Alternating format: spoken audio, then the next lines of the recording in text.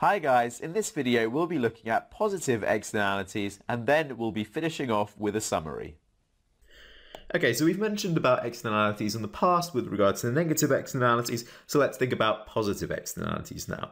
And we know that an externality is going to be a cost or benefit that is suffered by a third party who is external to an exchange. So externality, something external to an economic exchange or transaction that we see within a market, that's going to be the topic of discussion.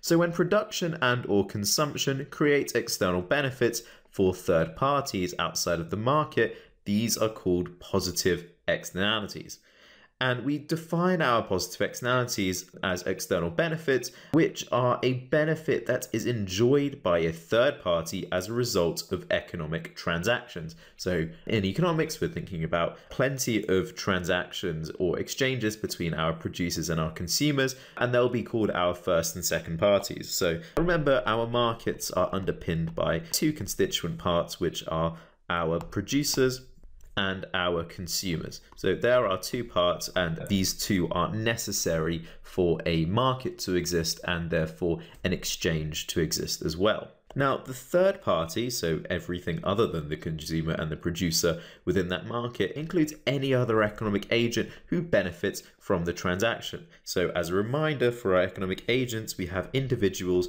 or households, we have our firms in the market, and then we also have the government.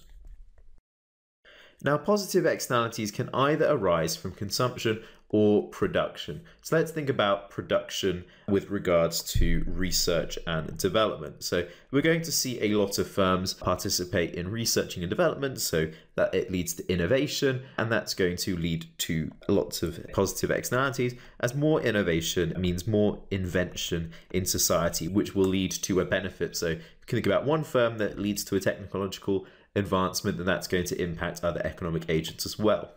And then let's think about consumption, such as vaccines. And vaccines are a popular example of a consumption externality because it leads to people being healthier around them. So if I myself have a vaccine, then that means to you, uh, I'm not going to infect you. So that's an externality which you get to enjoy through my consumption of a vaccine. And these are called positive consumption externalities, which arise when goods with many benefits are consumed by society. So we're going to think about sort of general healthcare and how if the society is more healthy, then I'm likely to not be infected. And then we're thinking about schooling. So schooling is going to be a positive externality because it means that people are going to be more educated, which will be helpful to firms. And then a furthering of that example of school is higher education, such as going to university and college and apprenticeships. And all of these skills are developed and picked up. So that's going to help an economy's production. And then finally, we can think about public transport and how public transport is going to decrease the amount of pollution in the air, which helps people as a result. So when I decide to take the bus into the town, then that means I'm going to forego going in my private car and uh, reduce the amount of pollution that I put into the air.